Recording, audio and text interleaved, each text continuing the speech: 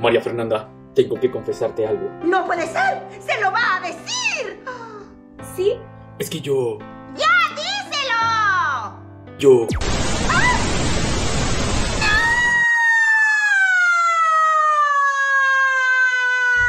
pasa, Mona? ¿Qué pasa? ¿Cómo que qué pasa?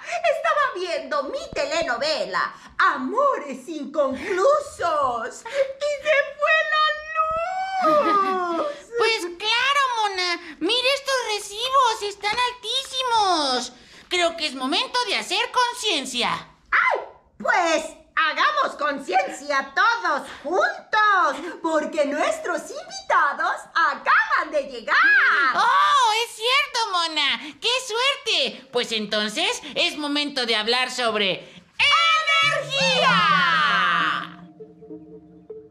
Para empezar esta increíble exposición, primero tenemos que saber cómo funciona la energía en nuestra vida cotidiana y la importancia de cuidar los recursos de la que ésta proviene.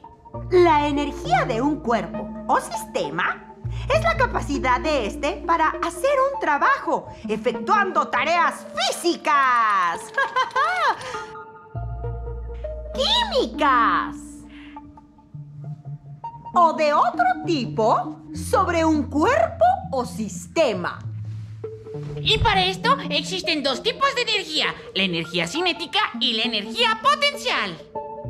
La energía cinética es la capacidad de un objeto para hacer trabajo debido a su movimiento, como las llantas de un coche que al girar pueden transportarnos. Y la energía potencial, que es la energía almacenada y que está lista para Como cuando desayunas delicioso. Mm, y estás listo para las actividades del día. Ay, ay, ¡Leonardo! Creo que tu energía se agotó. Ah, Eso pareciera, Mona, pero solo se degradó y esto nos lleva a las cuatro propiedades básicas de la energía. La energía se transforma. La energía no se crea, siempre existe y no se destruye, solamente se transforma por medio del pensamiento o voluntad de quien la maneja. Como una lámpara en la que la energía eléctrica se convierte en energía lumínica. La energía se conserva. Es decir, que todo objeto guarda la energía suficiente para ser usada en cualquier momento. Como unas zapatillas de ballet que siempre están listas para su gran actuación.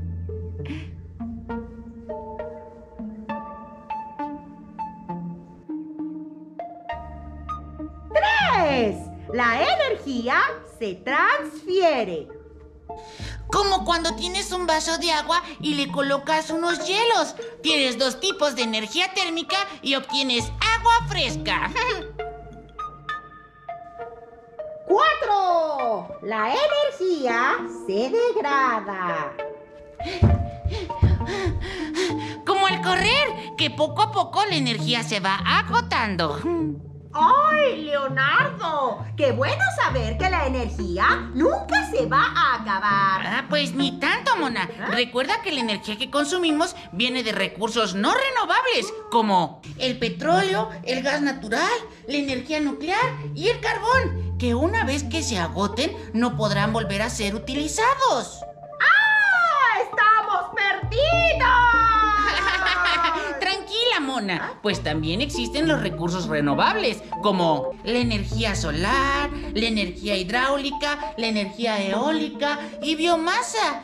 Estas se obtienen de fuentes naturales y no contaminan. ¡Qué bueno es estar Leonardo! Claro, Mona. Y saber que mi casa es tu casa. Eh, me refiero al planeta Tierra y es la única para todos.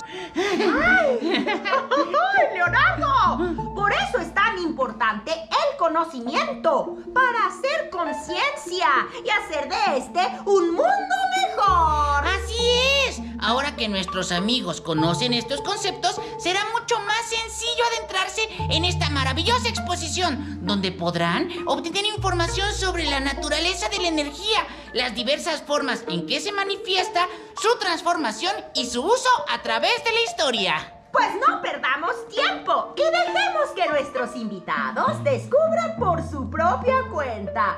Sean bienvenidos a la exposición ¡Energía! y no se les olvide que... ¡La ciencia la ¡Lo hacemos